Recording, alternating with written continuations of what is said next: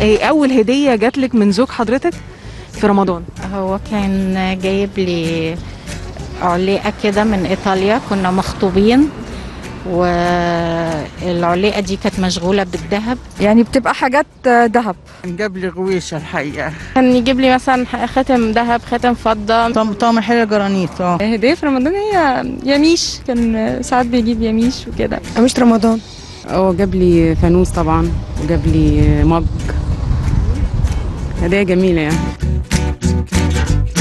Ziggity boo. Ziggity boo.